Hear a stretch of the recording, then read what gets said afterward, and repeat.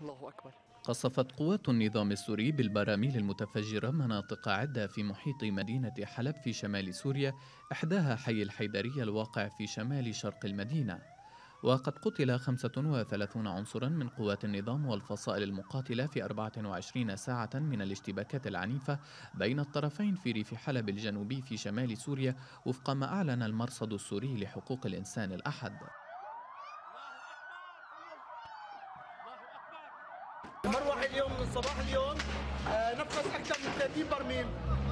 هي الهدنة هي الهدنة اللي سمعونا فيها إنه ما رح يستهدفوا المدنيين كلها مدنيين لا في مسلحين ولا في داعش ولا في حدا نهائيا.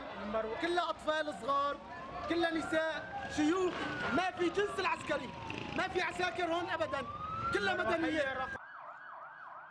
وشنت قوات النظام هجوما واسعا في ريف حلب الجنوبي في تشرين الأول أكتوبر وتمكنت من التقدم والسيطرة على قرى وبلدات بدعم جوي من موسكو التي باشرت حملة جوية مساندة لدمشق في 30 أيلول سبتمبر ويسري في سوريا منذ السابع والعشرين من شباط فبراير وقف للأعمال القتالية في مناطق عدة بموجب اتفاق روسي أمريكي تدعمه الأمم المتحدة. ويستثني الاتفاق مناطق سيطرة تنظيم الدولة الإسلامية وجبهة النصرة.